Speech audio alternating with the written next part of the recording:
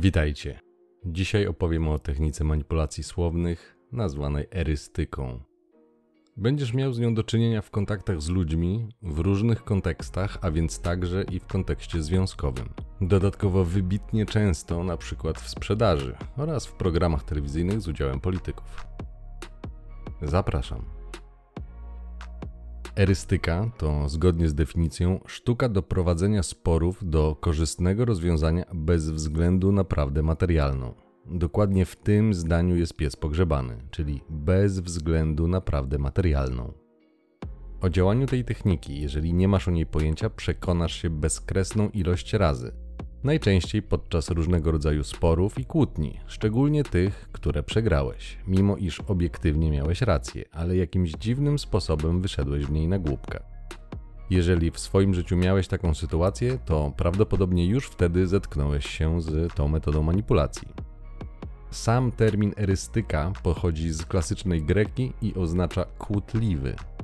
W praktyce w używaniu erystyki chodzi o takie przedstawienie sprawy za pomocą różnych zabiegów słownych, aby osoba, z którą rozmawiamy, przyjęła argument drugiej strony, a tym samym jej punkt widzenia lub jeżeli dyskutant jest inteligentny i nie daje się zapędzić w kozi róg, aby zrobić z niego głupka w oczach publiczności. Ponieważ jeżeli przedstawi się taką osobę w niekorzystnym świetle, czyli jako niekompetentną, to w percepcji publiczności, ośmieszając ją, stworzy się przekonanie, że głupek nie może mieć racji.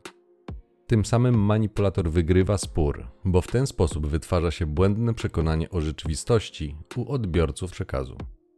Dlatego tak dużo chwytów erystycznych dostrzeżesz w telewizji. Klasyczny przykład to przedwyborcze debaty. Zauważ, że na ogół niewiele jest tam argumentów merytorycznych, a wiele argumentów emocjonalnych, aby jak najlepiej wypaść w oczach widzów. To nie jest przypadek, to najczęściej erystyka. Techniczne aspekty doskonale opisał w XIX wieku Arthur Schopenhauer w książce Erystyka, czyli sztuka prowadzenia sporów. Jeżeli zainteresuje Cię ten temat, to koniecznie przeczytaj jego pracę. To cienka książka. Egzemplarz, który mam, liczy sobie 50 stron. Dla tych, którzy nie lubią książek, w opisie umieszczę link do strony, na której jest wyciąg z tych technik. Podstawy znajdziesz również na Wikipedii. Aby dobrze zrozumieć w jaki sposób i dlaczego erystyka działa, niestety będziesz musiał zaznajomić się przynajmniej na podstawowym poziomie z logiką, ponieważ tylko wtedy będziesz mógł zauważyć, jakimi wykrętami posługuje się osoba, która w świadomy sposób używa tej techniki, aby zwyciężyć w sporze. Wtedy też będziesz wiedział, w jaki dokładnie sposób przekręca znaczenie słów, jak dokładnie odwraca kota ogonem i w jaki sposób zmienia kierunek rozmowy, aby osiągnąć swoje cele. Jak zwykle, aby bronić się przed tym, musisz być świadomy, że takie techniki istnieją. Gdy będziesz o nich wiedział i zaczniesz je zauważać, to dopiero wtedy będziesz mógł się przed nimi bronić. Ale w pierwszej kolejności musisz wiedzieć, że są stosowane i to częściej niż przypuszczasz. W opisie umieszczę link do ciekawego kanału pana Jakuba Prusia, który również w bardzo prosty sposób tłumaczy niektóre techniki z tego zakresu. Mam nadzieję, że pomoże w zrozumieniu. W kontekście męsko-damskim pamiętaj, że kobiety mają naturalną łatwość w używaniu erystyki, nawet jeżeli nie znają jej formalnych zasad. Biologia ewolucyjna tłumaczy ten fakt tym, iż bezpieczeństwo kobiet w zamieszłych czasach zależało od wsparcia i pomocy udzielanej przez mężczyzn lub ochrony grupy. Natura wyposażyła mężczyzn we większą siłę fizyczną jako mechanizm przystosowawczy do życia na tej planecie. Kobiety natomiast jako swój mechanizm otrzymały lub wykształciły umiejętność bardziej zręcznej i wyrafinowanej manipulacji, między innymi słownej. Gdy zastanowisz się nad tym właśnie z tej perspektywy ewolucyjnej, to jest to jak najbardziej zrozumiałe i racjonalne. Umiejętność przekonania do swoich racji w przypadku kobiet powoduje, że to mężczyzna poświęca swoją energię, siłę i zasoby, a nawet i życie na realizację celów partnerki. Pamiętać należy, że głównym i podstawowym powodem takiego obrotu sprawy jest ochrona i przetrwanie jej oraz potomstwa. Dzięki temu, jako ludzkość, przetrwaliśmy, więc nie ma się co na to obrażać. Trzeba to zrozumieć i zaakceptować. Od tysięcy lat takie są zasady gry. Większa biegłość w komunikacji, dzięki której mogą rozgrywać nieświadomych mężczyzn dla swoich korzyści, powoduje, że ty musisz znać tą technikę bo mimo, że odkąd wyszliśmy z jaskini minęły tysiące lat, zasady gry są nadal takie same. Kobiety są słabszą płcią, ale tylko w kontekście fizycznym. W kwestii przystosowania socjalnego są dużo mocniejsze od mężczyzn. Nie zapominaj o tym. Bo dopóki nie będziesz miał świadomości, w jaką grę chcesz grać, już na starcie będziesz na przegranej pozycji. Erystyka służy takiemu prowadzeniu rozmowy, a czasem i kłótni, aby wygrać ten spór, zgodnie z definicją, bez względu na to, kto ma obiektywnie rację. We wspomnianej książce Schopenhauera opisane są 34 techniki manipulacji słownej, aby osiągnąć ten cel. W kontekście relacyjnym, kiedy manipulatorce uda się w danej sprawie tak uargumentować swoje stanowisko, abyś nie spostrzegł błędów logicznych, to przyjmujesz jej punkt widzenia. A ponieważ w pewnym sensie zgodzenie się na jej argumentację zmienia Twoje przekonanie, to i zmienia postawę. Więc jeżeli tak się stanie, to zmieni się również Twoje działanie na takie, jakie jest zgodne z wolą manipulatorki. Na przykład, jeżeli przyznasz rację lub dasz się przekonać nawet fałszywymi argumentami, to tym samym zmienisz swój pogląd. Wtedy ciężko jest postąpić niezgodnie ze swoim nowym przekonaniem, ponieważ daje o sobie znać dysonans poznawczy, czyli nieprzyjemny stan. A nieprzyjemny będzie właśnie dlatego, ponieważ będziesz chciał zrobić coś niezgodnego z Twoim systemem wartości. W tym przypadku pewne znaczenie będzie miało też zjawisko w literaturze opisywane jako reguła konsekwencji. Panie generalnie z łamaniem tej zasady nie mają większego problemu, ponieważ od początku wiedzą, że to, co mówią, to czysta ściema, więc nie mają wyrzutów sumienia z późniejszym zachowaniem się zupełnie inaczej w stosunku do tego, co mówiły. Dodatkowo pomagają im w tym zmienne emocje. Tak po prostu jest. Wytłumaczenie znajdzie się zawsze. Wyrachowana manipulantka jest zepsutą do szpiku kości hipokrytką, dlatego to, co powie, że zrobi, a to, co naprawdę zrobi, to bardzo często dwie różne rzeczy i nie mają ze sobą nic wspólnego. Dodatkowo taka osoba nie ma z tego powodu żadnego poczucia winy. Dopiero gdy powiesz sprawdzam i wyciągniesz konsekwencje, wtedy bardzo często okaże się, że będzie jej przykro. Ale tak naprawdę to nie z powodu swojego zachowania, czyli na przykład nie dlatego, że oszukała cię lub zdradziła, lub wykorzystała, ale dlatego, że została złapana i grożą konsekwencje. Przykro mi, ale nagroda i kara to nadal najskuteczniejsza metoda wychowawcza. Jeżeli uważasz, że w związku nie ma prób wychowywania drugiej strony, niezależnie jak to nazwiesz, to sugeruję przemyśleć tą kwestię jeszcze raz. Jeżeli nagradzasz manipulatorkę brakiem konsekwencji, to nie spodziewaj się, że zmieni zachowanie. Dlaczego miałaby to zrobić? Dlaczego miałaby postąpić inaczej? Nie ma takiego powodu i dlatego nic się nie zmieni, dopóki niczego nie zmienisz. Jeżeli dajesz po sobie jeździć, to będzie po tobie jeżdżone. Przy zastosowaniu tej techniki w związku głównie cierpią ludzie ufni, zaangażowani i uczciwi.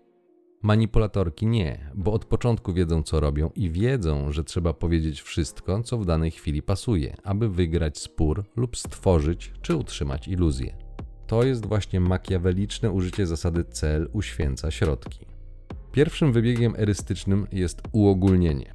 Jeżeli argument jest konkretny, to łatwiej go obalić, jeżeli nada mu się ogólniejsze znaczenie. Dzieje się tak dlatego, że jeżeli jakaś sprawa jest ogólniejsza, to łatwiej się do niej przyczepić, ponieważ łatwiej znaleźć wyjątek od reguły, a następnie potraktować taki wyjątek jako dowód obalający całą tezę. Sztandarowym przykładem tej techniki jest tak dobrze znane kobiece stwierdzenie: Nie wszystkie takie są. To stwierdzenie jest banalne, ale sugeruje, że ponieważ nie wszystkie takie są i znajdują się nieliczne wyjątki, to znaczy, że całość stwierdzenia i argumentów jest fałszywa. Manipulacja w tym przypadku polega na tym, iż przemilczane są istotne fakty, np. proporcje. 99% kobiet podlega hipergami, a 1% nie, więc ten 1% jest używany jako dowód na to, że 99% przypadków to fałszywy dowód. Czyli niejako przenosi się uwagę z 99% na 1%. Tym samym zmienia się płaszczyznę rozmowy. Technika uogólnienia może być defensywna, jak i ofensywna. Inny przykład. Załóżmy, że bez wyraźnych powodów zmienia się zachowanie Twojej partnerki. Podejrzewasz, że cię zdradza. Któregoś razu zapytasz, gdzie była tak długo? W odpowiedzi otrzymasz, że ty zawsze jesteś taki podejrzliwy. Trochę dłużej jej się zeszło, a ty już wymyślasz nie wiadomo co. Zwróć uwagę, że taka hipotetyczna odpowiedź po pierwsze nie jest konkretną odpowiedzią na pytanie, a po drugie jest też tam sugestia, że coś nie tak jest z tobą, czyli masz kombosa, erystyczna zmiana tematu przez uogólnienie i próba wzbudzenia poczucia winy. Jak bronić się przed taką techniką? Po prostu wrócić do tematu. Manipulatorka będzie chciała go zmienić, ponieważ z jakiegoś powodu jest on niewygodny, więc należy jeszcze raz zapytać, gdzie była tak długo. W ten sposób nie pozwalasz zmienić tematu rozmowy i dążysz do uzyskania odpowiedzi na zadane pytanie. Jeżeli mimo kilku prób uzyskania satysfakcjonującej odpowiedzi będziesz miał ogólniki, to możesz podejrzewać, że coś jest na rzeczy. Wariantów, jak przy takim pytaniu uogólnić i tym samym odbić piłeczkę, jest wiele, więc nie sposób wymienić wszystkich. Na przykład możesz usłyszeć odpowiedź: O co ci chodzi? Przecież ludzie czasem się spóźniają. Każdemu może się zdarzyć. To też jest uogólnienie z tego konkretnego przypadku na wszystkich ludzi. Jeżeli zaakceptujesz taką wymijającą odpowiedź, to tym samym dajesz przyzwolenie na takie zachowanie oraz zamykasz sobie w przyszłości drogę do powrotu do tego pytania ponieważ gdyby tak się stało, to kobieta na pewno odpowie, że przecież już rozmawialiście i nie miałeś nic przeciwko, co wywoła w tobie dysonans poznawczy, ponieważ jest zgodne z prawdą. Dałeś wkręcić się wtedy, więc dodatkowo będzie wykorzystana reguła konsekwencji, bo brak reakcji w tym przypadku będzie prawdziwy, tyle że wywołany manipulacją, ale o tym już się nie dowiesz. Takie są zasady gry. Drugi wybieg to użycie homonimii czyli jakiegoś bliskoznacznego, podobnego wyrazu, który zmienia sens i znaczenie wypowiedzi, w taki sposób, aby łatwiej było przekręcić sens całego zdania. Klasyczne przykłady, które powtarzają się regularnie, są dwa. Po pierwsze, to użycie Twojego przejęzyczenia. Jeżeli rozpoczyna się sprzeczka, to najczęściej ma to miejsce w nerwach. Często pobudzenie emocjonalne, które jest podstawą huśtawki emocjonalnej, spowoduje, że w nerwach przejęzyczysz się, Wtedy kobieta w czasie kłótni nie omieszka wyśmiać cię, że nie umiesz nawet mówić i tak dalej. Tak jakby przejęzyczenie było błędem, który podważa całe rozumowanie i sprawia, że jest już koronnym dowodem na fałszywość całego wywodu.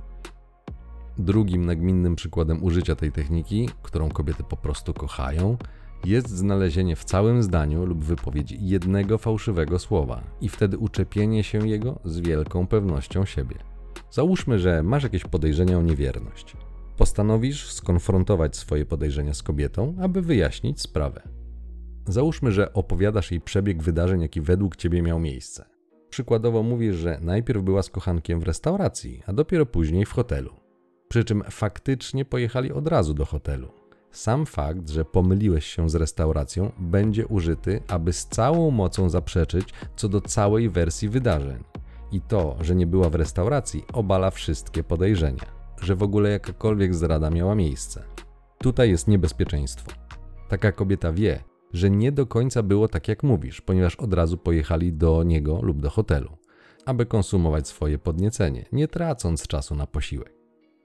I wtedy będzie wiele razy powtarzała, że nie było tak jak mówisz, przy czym częściowo będzie miała rację. Nie byli w restauracji, tylko od razu udali się na kiełbasę jest bardzo duża szansa, że gdy trafi taki fałszywy element w Twojej wypowiedzi, to uspokoi się i nie zobaczysz somatycznych oznak kłamstwa. Nie będzie nerwowego przełykania śliny, podniesionego tonu, ogólnie brak oznak stresu. Ba, może nawet nastąpić uspokojenie, bo kobieta w takiej sytuacji wie, że właśnie znalazła furtkę wyjścia z opresji. W przypadku wyszydzenia jednego przejęzyczenia czy słowa, aby się bronić, należy powtórzyć pytanie bez przejęzyczenia lub powiedzieć, że to nie jest istotne dla tematu i że oczekujesz odpowiedzi. W drugim przypadku jest ciężej, ponieważ niewierna kobieta nigdy, absolutnie przenigdy, nawet pod groźbą tortur, jeżeli nie ma pewności, że wiesz, nie powie ci, jak było naprawdę. Zaprzeczenie nic nie kosztuje, a jest szansa, że jednak nie wiesz, więc może uda się oszukać, dlatego warto spróbować. Pamiętaj, słowa nic nie kosztują. W takim przypadku, jeżeli jesteś gotowy, aby rozpoznać prawdę, jeżeli rzeczywiście ma miejsce zdrada, musisz spotęgować emocje, ponieważ emocje zmniejszają zdolność logicznego myślenia i zapamiętywania. Manipulatorka opowie ci pod wpływem emocji jakąś przygotowaną wcześniej wersję wydarzeń, jakąś historyjkę. Jeżeli zaczniesz naciskać, spowodujesz większe pobudzenie, a to spowoduje, że zacznie wymyślać na bieżąco. Dopytuj się o wszystko w najmniejszym szczególe. Zapamiętaj te odpowiedzi. Po jakimś czasie wróć do tego tematu i ponów krzyżowy ogień pytań.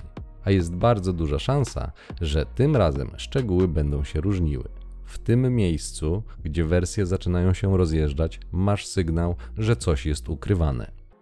Gdyby mówiła prawdę, stres nie byłby problemem. W takim przypadku, z dodatkowo podkręconymi emocjami, dla manipulatorki to będzie problem, ponieważ razem ze stresem rośnie szansa, że najzwyczajniej w świecie pogubi się w zeznaniach. Nie bez powodu opisana poprzednio technika huśtawki emocjonalnej jest skuteczna. Kolejna sztuczka to słowotok, w tym słowotok pytań. Im dłużej trwa wypowiedź manipulantki, tym więcej różnych wątków poruszy. Wśród tych, które są istotne i prawdziwe, będą też te fałszywe i manipulacyjne. Wiesz już, że pod postacią pytania można przemycić stwierdzenie. Nazywa się to ukrytym założeniem, tezą lub presupozycją. Oto przykład, że niektórzy politycy mają tego świadomość. Ja pytam. Ja jestem w posiadaniu Nie, nie, dokumentów, które panie- ujawnię prokuraturze. Panie pośle, Panie pan marszałku, przecież nie pyta, pan stwierdza. Więc... Ja pytam, panie marszałku, pan, przepraszam, pan marszałek mnie nie słuchał. Nie, nie, ja ja słucham, słucham. zapytałem, zapytałem, czy jest prawdą. Tak było, czy nie było tak? Tak było dokładnie, chyba nagrane też jest. Panie, panie marszałku, pan, do, pan dobrze wie, że są pytania, które są stwierdzeniami. I to, Nie właśnie, i to właśnie pan w tej chwili robi. Ta sztuczka erystyczna polega na tym, że im więcej zdań popełni manipulantka, na które nie zareagujesz, tym bardziej sprawia wrażenie, że zgadzasz się z tymi ukrytymi tezami. Jeżeli zada na przykład 5 pytań, a ty ustosunkujesz się tylko do dwóch, to może powstać wrażenie, że pozostałe trzy są przez ciebie akceptowane, lub przynajmniej nie masz z nimi problemu. Metodą na tą sztuczkę jest zwolnienie tempa rozmowy i powrót do pierwszego pytania, a następnie rozprawienie się z pozostałymi po kolei. W tej zagrywce erystycznej, jeżeli ma miejsce ze zdaniami twierdzącymi, liczy się na to, że obiekt nie zorientuje się i pod naporem różnych zdań zgodzi się z przedstawionymi argumentami. Panie, które stosują tą technikę, a robią to prawie wszystkie, liczą, że im więcej zdań wypowiedzą, tym większą będą miały rację. Dlatego musisz wiedzieć, bo bez świadomości tej metody nie będziesz mógł z tym nic zrobić, a to spowoduje tylko zwiększenie frustracji i poczucia niesprawiedliwości. Kolejną sztuczką, którą spotkasz, to zmiana tematu. Zobaczysz to szczególnie w programach informacyjnych, w których polityk okazuje się być lepszym retorem niż dziennikarz lub dziennikarka. Kiedy pracownik telewizji zorientuje się, że nie może zrobić w bambuko gościa w danym temacie, bo ten ma wiedzę i jest przygotowany do rozmowy, wtedy bardzo szybko zmienia temat na inny, aby samemu nie wzbudzić podejrzeń co do swojej bezstronności. W przypadku relacji, jeżeli masz w czymś rację i nie dajesz się przekonać, a jednocześnie punktujesz partnerkę w jej fałszywych argumentach, to gdy ona poczuje, że nie może cię przegadać, najczęściej zmieni temat rozmowy, która idzie nie po jej myśli, albo na zupełnie inny, albo wrzuci coś z shamingu lub z poczucia winy, na przykład jak tak możesz nie ustępować kobiecie? Lub ty to zawsze musisz mieć rację. Kolejna sztuczka, którą kobiety po prostu uwielbiają stosować, to wyciąganie błędnych i z reguły potwornie wyolbrzymionych wniosków z tego, co powiedziałeś lub zrobiłeś. Na przykład, kobieta chce czegoś od ciebie.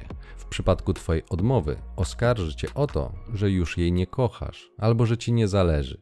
Nie jest to groźna technika, jeżeli wiesz, że jest stosowana, ale dla faceta jest męcząca i na dłuższą metę denerwująca. Bo ileż można tłumaczyć się z tego, że nie jest się wielbłądem i w ogóle nie powiedziało się, ani nawet nie miało tego na myśli. W pewnym momencie, po wystarczająco długim używaniu tej sztuczki przez panie, zaczniesz dla świętego spokoju odpuszczać i akceptować to, co mówi. A to jest niestety błąd. Dasz palec, weźmie całą rękę. To element tresury. W przypadku tej zasady proponuję mały eksperyment, aby przekonać się, że kobiety potrafią doskonale rozróżniać wyolbrzymienia i nie stosują tego zupełnie nieświadomie i absolutnym przypadkiem. Jeżeli zauważysz, że pani stosuje tą technikę, to jest wmawiać niestworzone konsekwencje błahych spraw, czyli wyolbrzymia, to przy okazji jakiejś kolejnej sprzeczki odwróć rolę i samemu wyolbrzymiaj ewentualne konsekwencje działań i zachowań kobiety. Przekonasz się wtedy, że pani momentalnie wyłapuje te zagrywki i wtedy sama zacznie się irytować, dokładnie tak samo jak facet. To jest dowód na to, że jest świadoma tych technik. Gdy sama tak postępuje, to jest ok i ty masz się podporządkować. Dziękuję, nie skorzystam. Mamy równouprawnienie, więc ja szanuję taką postawę, a więc skoro kobieta może, to ty też. Same panie zresztą bardzo chętnie używają tego argumentu. Spotkałem się z tym już setki razy, więc nie widzę powodu, abyś nie przetestował tego również ty. To prowadzi mnie do kolejnej bardzo częstej kategorii, czyli argumentów mających wyprowadzić cię z równowagi. Zalicza się do nich bezczelność, wzbudzanie złości, lekceważenie. W tym zabiegu chodzi o to, że jeżeli jesteś pobudzony emocjonalnie, zdenerwowany, to po pierwsze zmniejsza się zdolność Twojego umysłu do logicznego myślenia. To element bazujący na huśtawce emocjonalnej. Co ma szczególnie nieprzyjemne efekty, gdy rozmowa toczy się przy świadkach, ponieważ w momencie, w którym kobiecie uda się wyprowadzić ciebie z równowagi, a panie są w tym mistrzyniami, będzie mogła natychmiast wskazać na Twoją porywczość i brak kontroli nad sobą, przez co ewentualna publika będzie sympatyzowała z nią, a nie z Tobą, bo prawie nikt nie lubi jawnej agresji lub przynajmniej nie przyzna się do tego. Kiedy manipulantce uda się wzbudzić w tobie huśtawkę emocjonalną, najprawdopodobniej będzie dodatkowo naciskała, aby jeszcze bardziej wytrącić cię z równowagi. Jeżeli masz taką możliwość, porozmawiaj z kolegami lub znajomymi, którzy mają już za sobą rozwód. Niech powiedzą ci, jakie rady dawali im prawnicy co do zachowania na sali sądowej. Niektórzy ze względu na emocjonalny charakter rozwodu przychodzą mocno nafaszerowani środkami uspokajającymi, aby nie dać się sprowokować przyszłej już byłej małżonce. W takim przypadku audytorium jest sąd, a nie koleżanki na imprezie, ale cel jest ten sam aby samemu wyjść na oazę spokoju, a ciebie przedstawić jako łotra i potwora. Witamy w prawdziwym świecie. Kolejny element erystycznych zagrywek to powoływanie się na autorytety. Większość osób woli wierzyć niż sprawdzać. Działa tutaj dodatkowo zasada dowodu społecznego. Im więcej osób w coś wierzy lub coś zachwala, tym bardziej wydaje się to prawdopodobne lub prawdziwe co samo w sobie nie musi być prawdą, biorąc pod uwagę jakość niektórych tzw. Tak autorytetów w dzisiejszych czasach. W kontekście związków za autorytet będą podawane inne koleżanki, teściowa lub inne pasujące w danej sytuacji osoby, które jeżeli przyjrzysz się im bliżej, mają najczęściej wątpliwe kwalifikacje do występowania lub powoływania się na nie w roli autorytetu ale żeby obalić ten zarzut, trzeba mieć rzetelną wiedzę z danego zakresu. Dlatego, żeby grać w dzisiejszych czasach w grę pod tytułem relacje, po prostu musisz wiedzieć. Kolejna sztuczka polega na szufladkowaniu, szczególnie częsta w telewizji, w tzw. Tak debacie publicznej i wśród polityków. Gdy przeciwnika nie da się tak łatwo przekonać lub wykazać błędności jego tezy, zazwyczaj, ponieważ ma obiektywną rację i grozi porażka, należy przypiąć mu jakąś łatkę i w ten sposób zaszufladkować go do jakiejś nielubianej społecznie kategorii. Dokładnie tym jest porównanie ludzi o prawicowych poglądach do faszystów. Dokładnie tym jest szufladkowanie do kategorii inceli mężczyzn, którzy zobaczyli, że współczesne realia formalnych związków są skrajnie niekorzystne i postanowili nie dokonywać nieopłacalnych transakcji i inwestycji. Użycie tego argumentu w zasadzie ma ośmieszyć oponenta i sprawić poprzez analogię do użytego porównania, że wszystko co on mówi jest bez sensu i niepoważne, ponieważ przytoczone porównanie stygmatyzuje taką osobę. Ostatnia, najbardziej oczywista technika jest podobna do poprzedniej, tylko dużo bardziej bezpośrednia. To tak zwany atak ad personam. W momencie, kiedy brakuje już argumentów, bezpardonowo atakuje się rozmówcę. Dokładnie tym w istocie jest sławne i nudne, kto cię skrzywdził. Tym są wszelkie maści wyzwiska i obelgi. Panie pośle. Pan jest zerem, panie Zawsze poseł, można panie się Panie, panie, panie pośle. Kiedy w czasie kłótni usłyszysz, że kobieta zaczyna atakować cię, nie odnosząc się do meritum, a jedynie do ciebie, twojego wyglądu itd., tak to masz właśnie dowód, że wygrałeś sprzeczkę lub wymianę argumentów, ponieważ gdyby miała w zanadrzu silne karty, zdecydowanie zagrałaby nimi, ale ponieważ ich nie ma, to jedyna linia obrony polega już na zmieszaniu cię z błotem.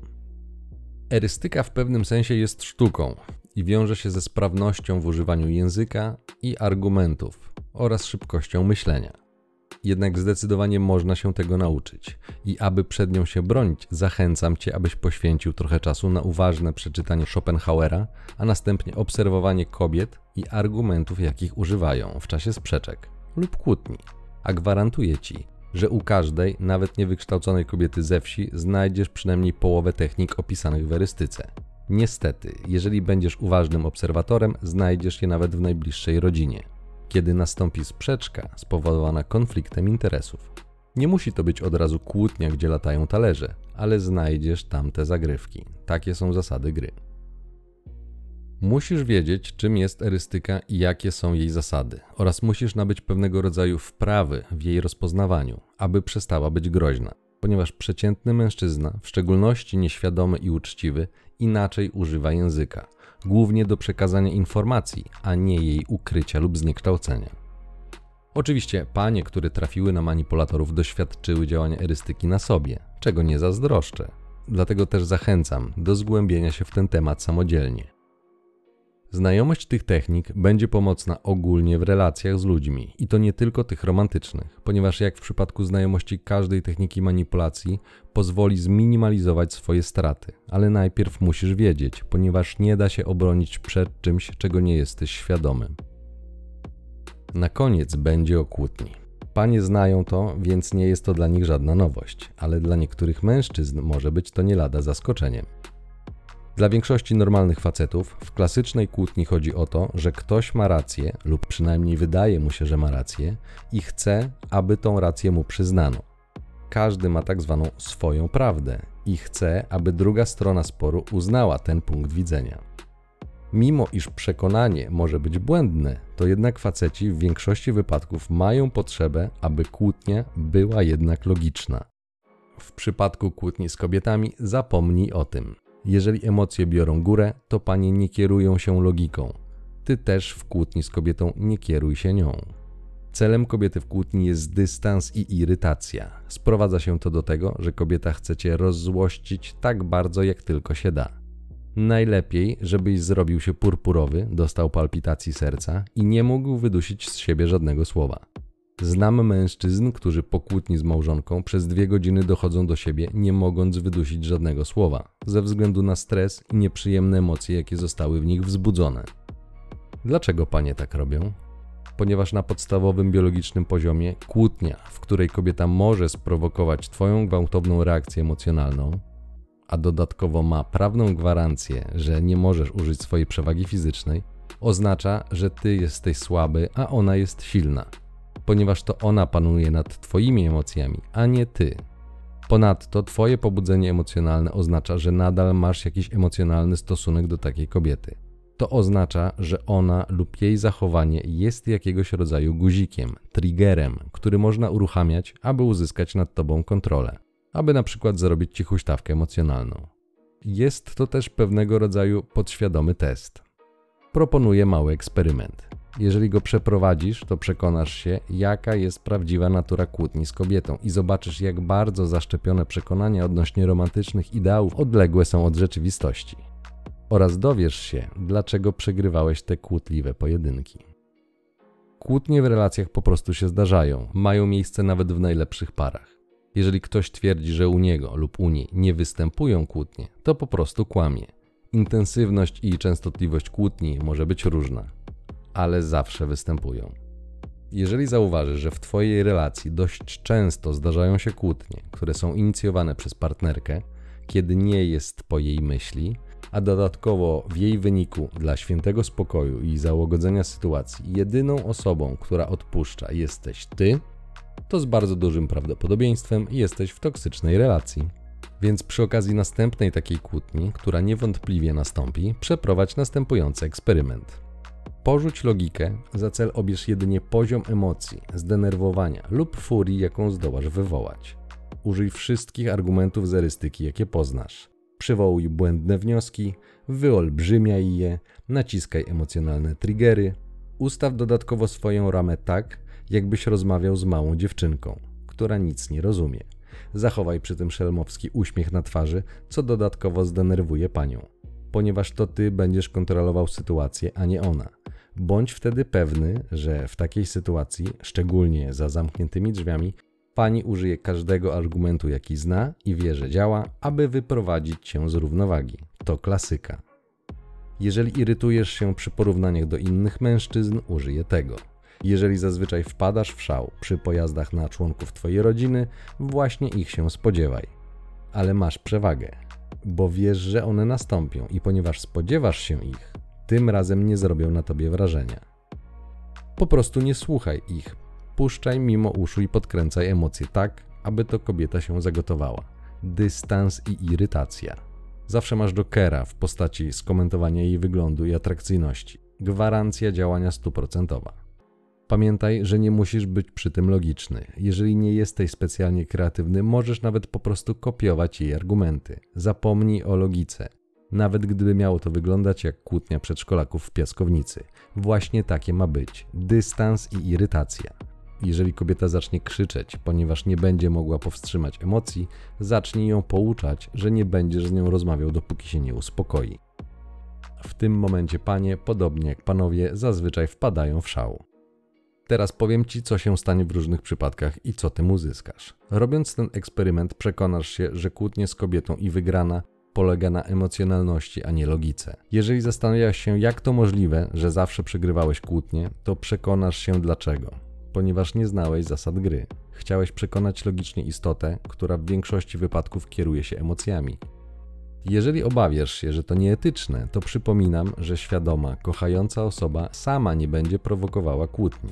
Swoje potrzeby zakomunikuje ci jak cywilizowany człowiek, a jeśli ich nie spełnisz, to po prostu odejdzie, jeżeli będzie miała lepszych absztyfikantów.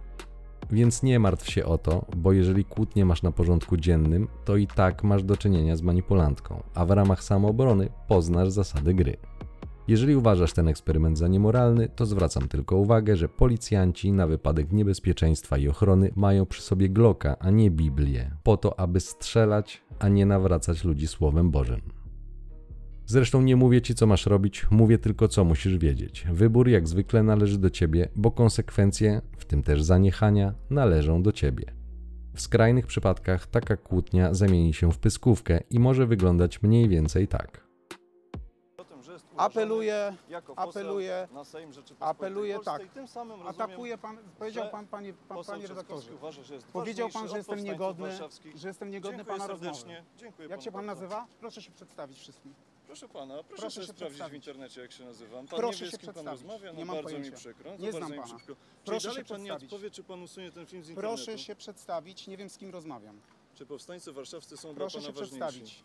Proszę się przedstawić. Jest pan, pracuje pan za publiczne Proszę pieniądze. pana, czy powstańcy warszawscy są dla pana istotni, skoro nie Proszę chce pan na się ich prośbę przedstawić. usunąć filmu z internetu? Obraził mnie pan, proszę się Ja przedstawić. pana nie obraziłem. Proszę się przedstawić. Proszę nie być takim wrażliwym, naprawdę. Jest Gdybym pan ja się miał płacony. obrażać za każdym jest razem, pan kiedy pan na płacony. konferencjach mówi o nim Jest manipulacji pan, pan nic TVP. innego nie robi, tylko pan nie, ja nie manipuluje cały czas. manipuluję, to pan mnie teraz Sprawdźmy, obraża. jak się pan nazywa. Dlaczego pan poseł obraża dziennikarza telewizji polskiej? Bo jest pan płacony, Tak? ja pana nie obrażam, jestem Ja płacony jestem z publicznych pieniędzy. No, a pan z pan nie jest jest płacony? prywatną, pan nie jest prywatną A stacją. Z czego pan jest? Proszę się przedstawić. Do widzenia. Czyli pan, Pan- nie przeprosi, rozumiem, powstańców Proszę się warszawskich? przedstawić. Przeprosi pan powstańców, czy nie? Proszę się To przedstawić. jest świetna, proszę państwa, manipulacja posła Trzaskowskiego, który nie chce odpowiedzieć na pytanie i zmienia oczywiście temat. Powstańcy warszawscy Sposób, w jaki apelują o pracujecie, to, jest aby poseł skandaliczny. Trzaskowski usunął z internetu klip, ale poseł Trzaskowski w tym momencie zmienia temat, mówi o manipulacji telewizji publicznej. Manipule, I oczywiście manipulujecie przez cały czas. wycieczki personalne do dziennikarzy. Dobrze, dziękuję, bo nie ma sensu. podziękować. Po takim wydarzeniu oczekuj kilku dni terapii ciszą. To też jest element walki psychologicznej. Chodzi o przetrzymanie i o to, abyś to ty pierwszy przyszedł z wyciągniętą ręką na zgodę. Bo to oznacza, że ty jesteś potrzebujący, czyli słaby. Jeżeli kobieta kłóci się z tobą regularnie, to i tak już nie masz dostępu do sypialni, więc niewiele ryzykujesz. Zignoruj ten okres, masz wtedy czas dla siebie i święty spokój. Gdy ona zobaczy, że nie pękasz i nie ustępujesz, zaczną dziać się ciekawe rzeczy, ponieważ jej gadzi mózg zacznie brać pod uwagę ciebie jako silnego samca. Oczywiście kolejne testy będą występowały, aby upewnić się, ale takie są biologiczne zasady gry. Niektóre najbardziej złośliwe i zawistne manipulantki mogą utrzymywać terapię ciszą przez wiele dni, ale nie miej złudzeń. To, że nie będą się do ciebie odzywać, nie oznacza, że nie będą bacznie przyglądać się temu, co robisz i jak radzisz sobie z jej fochem. Testowałem ten schemat dziesiątki razy. Niektóre kobiety będą wtedy mściły się na tobie za to, że nie mogły postawić na swoim. To też dobra informacja, ponieważ wreszcie zobaczysz, z kim masz naprawdę do czynienia i otrzymasz dowód, czy ona rzeczywiście jest inna. Problem z wykonaniem tego eksperymentu mają panowie z formalnie podpisaną umową prawną zwaną małżeństwem, ze względu na potencjalne prawne konsekwencje, na przykład w postaci niebieskiej karty. Ci mężczyźni muszą dobrze zastanowić się nad wybraniem miejsca i czasu takiego testu, ze względu na przykład na możliwość nagrywania wydarzeń.